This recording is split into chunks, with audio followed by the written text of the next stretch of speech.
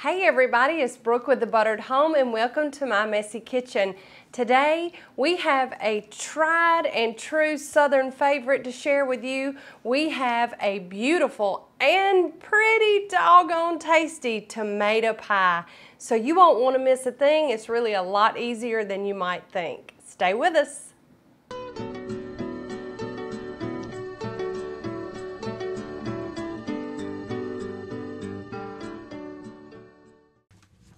Okay, so we start with four to six ripe Roma tomatoes and a fourth of a cup of sliced red onions. You want to slice everything kind of thin, put it into a mixing bowl, and you see me, I'm kind of tossing it around, kind of break those onion slices up.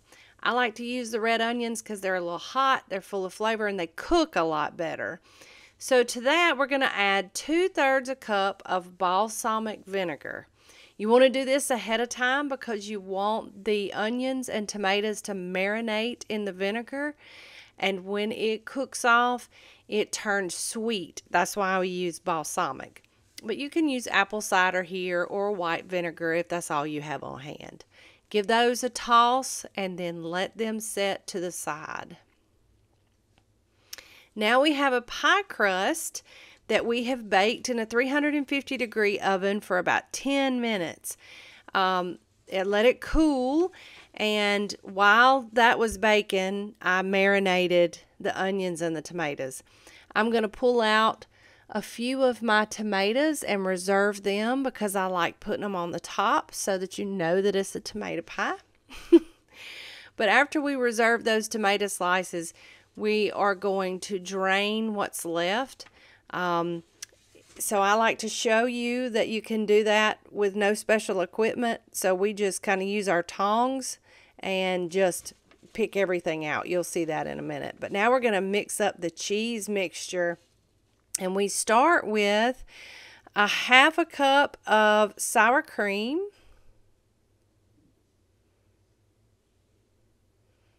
In another bowl, not the bowl that we're marinating in.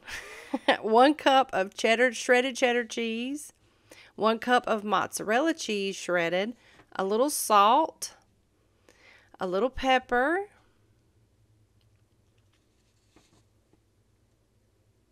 and then we also added in a half a cup of mayonnaise. Sorry about that. And then we're going to add in some dried basil, two tablespoons, and that's our cheese mixture. We'll get it all mixed together and then we'll set it aside.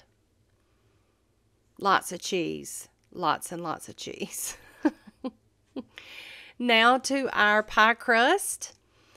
And I'm using a homemade crust, but you can also use a store-bought crust. It really does not matter. The star of the show here is that cheese mixture and your onions and your tomatoes.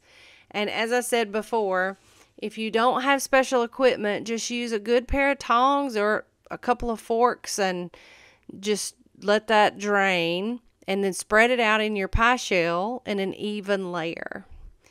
I'm going to put just a tad bit more salt and pepper on here um, just because I like the extra season and the vinegar is not that salty. So now we're going to take that cheese and sour cream and mayonnaise mixture and we're going to spread it over the top. I like to just dollop it on and use the back of my spoon to spread it out in a nice even layer. Doesn't have to be pretty. It's all going to cook down. It'll be very pretty when it gets done. But if it's a little messy looking in the beginning, don't stress. now we add those reserved tomatoes to the top to make for a really pretty savory pie decoration.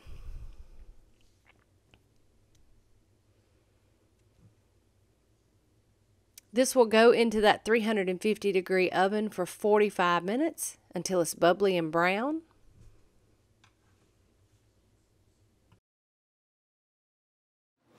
Okay, everybody, we are back. We finished a 45 minute cook time and then I let it cool for about 10 or 15 minutes just so that I could cut into it. And I've already cut my piece because the cook's piece always looks terrible. But let's take a look at how beautiful this is. I just want to take a minute and show you that it is nice and firm That pie crust did a really good job of holding all of the onions and the tomatoes in. We drained them off real good so that we didn't have a lot of balsamic go in. And that cheese mixture that we put on top, well, I mean, that's just the icing on the cake. And those tomato slices that we put up there, they just really, I, I always believe in showing a little something so that you know what you're getting. Uh, but it's fantastic. It's still hot, but we're gonna taste it. Ah, I have been waiting oh, a while for this. This is my favorite thing. Mmm. Mmm. You can use a store-bought pie crust, you can. But if you've never made a homemade pie crust, you don't know what you're missing.